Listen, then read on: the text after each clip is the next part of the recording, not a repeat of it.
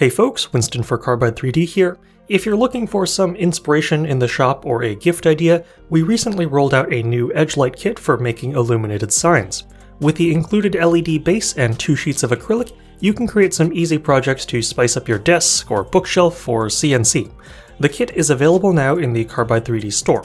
These are two examples I made and I'll run you through how I created them with Carbide Create and machine them using the Nomad 3 desktop CNC.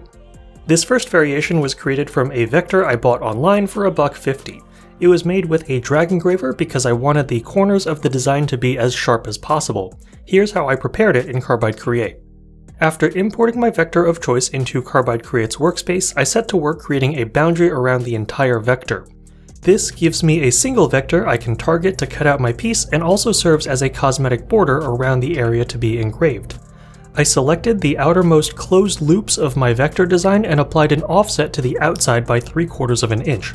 This offset vector smooths out the points in the design giving me a gentler profile I can cut around without having to worry about sharp corners and whether or not an end mill would be able to cut into them. But this border looks a little bit chunky so I'll offset it back inward by 5 eighths of an inch to create a more reasonable 8th inch margin around the design you can see that this boundary that I created doesn't try to dip back into tight places like the area behind the ears of this wolf. The larger you make that initial offset, the more your perimeter will be smoothed out. To align this with some additional geometry I need to create, I'll align my design to the middle of the workpiece. I'll use the Move tool and locate it based on the geometric center of the vector. In an 8x8 canvas, the coordinates will be 4, 4. Now I need a neck for this piece, the part that will stick into the LED base in the kit. The LED base will accommodate pieces up to 2.8 inches wide or about 70 millimeters. I'll create a tall rectangle of that width and center it to my design. I want approximately 3 quarters of this rectangle to stick below my design. Then I can select both my outer profile and that rectangle and merge them using the boolean union command. That is my design portion done. In the toolpathing workspace, I'll start with a 2D contour toolpath. I think an 8th inch end mill like our 102 is a good fit for this application. If the ratio of the depth of your total cut to the diameter of your end mill is greater than about 2 to 1 or 3 to 1, chips and shavings are more likely to get stuck in that machined slot, which can rub against the workpiece, marring its surface, or in hard plastics like acrylic, this also puts you at a greater risk of melting the plastic, which would ruin your day and your workpiece. I'll be cutting about a quarter inch deep with an eighth inch cutter though, so I don't have any concerns about this happening. We're working on putting out some updated speeds and feeds for the Nomad 3, but a good rule of thumb that should work in the meantime is to take the presets for the Nomad 883 Pro, double the spindle RPM, increase the depth of cut by 25%, and increase the feed rate by 50%. In many cases, the Nomad 3 can outperform the Nomad 883 Pro by an even greater margin, but this is a safe place to start. Now onto the drag engraving toolpath. In the basic version of Carbide Create, these are the options you'll see. Pocketing is a perfectly fine way to flood a boundary with a toolpath to create a frosted look with a drag engraver. But sometimes the way a toolpath emanates from the center of a vector can leave an undesirable surface texture or pattern. In Carbide Create Pro, we added an engrave toolpath so you can get the most out of a drag engraver like the MC Etcher. It presents several options I'll go over in greater detail in a separate video, but the most important thing here is that you can choose a linear fill pattern that will raster your vector like an inkjet printer. This leaves a much more neutral surface texture that won't detract from the finished piece if you're making something that needs to hold up to closer inspection. Through trial and error, I settled on a step over of 0.005 inches and a depth of cut of 0.03 inches. I say depth of cut with air quotes because that's not how deep the engraving will be, just how much MC Etcher will be compressed. I'll start feed rates at 80 inches per minute in X and Y with a fairly aggressive plunge at 60 inches per minute. I'm only doing that because this is a spring-loaded tool so that's safe and there are going to be a lot of little up and down movements in the G-code. Let's head to the machine and see how this program works. Before I tape my sheet of stock down to the table, I want to establish my zero. I personally like referencing my table because it means I'll never go lower than this point. Regardless of any variations in my stock, I'll stop cutting before I hit the wasteboard. If I eyeball this so I just barely see a sliver of light under my end mill before I zero it out, I can avoid cutting into the double-sided tape I'm going to be using to hold my acrylic down. I'm also leaving the protective film on the bottom of my stock to minimize the possibility of getting scratches on my acrylic. Once I have my stock taped down, I'll jog the machine so that the X and Y zero are just inside the bounds of my stock. This is insurance against having part of my wolf head cut off because it was too close to the edge. Then I can load a tool, snap on my chip fan, and let the Nomad work.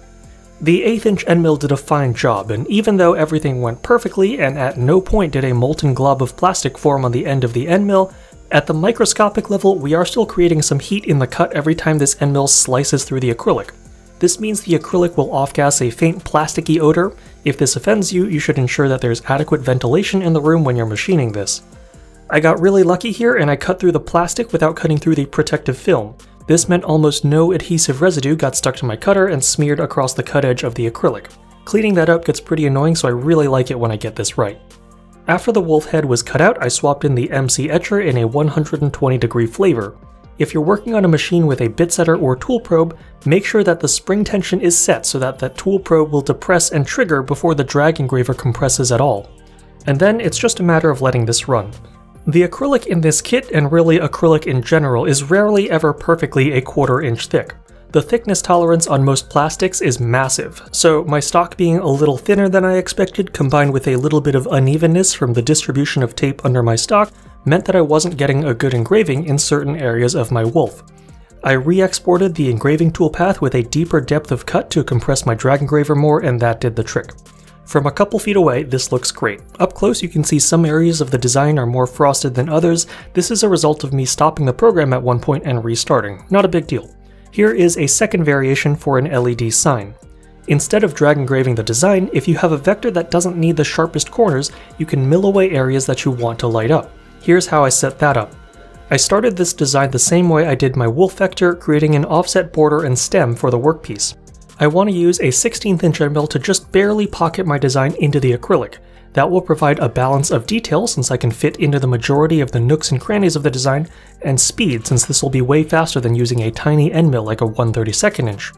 But remembering that a safe ratio for cut depth versus cutter diameter, to provide some insurance against melting chips when I'm cutting the whole thing out, I'm going to pocket the outside of the perimeter of my piece.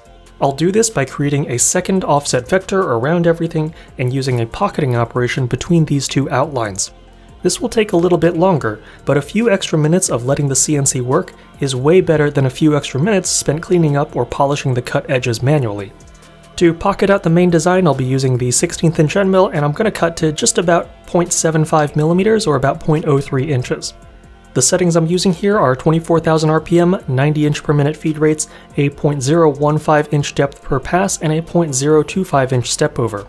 You can't hide the tool marks from a spinning cutter like you can with a drag engraver, there will always be some swirl marks that you see in the surface that you machine.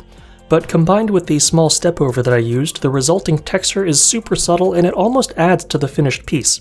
Also, pro tip, if you want the smooth side of the acrylic to face the viewer in the finished piece, make sure you mirror the design across the horizontal axis. The depth of the design here means that the edges catch the light from the LED base a bit more, adding contrast and making it pop visually. I really like this variation and I think it would be cool to leverage depth to a greater degree in future sign projects. There's so many ways you can go about making an edge-lit sign, I hope this video gave you some ideas you can use. If you want to pick up all the parts to make something like what you saw in this video, you can check out the Edge Lighting Kit on the Carbide 3D shop. Until next time, good luck and have fun machining folks.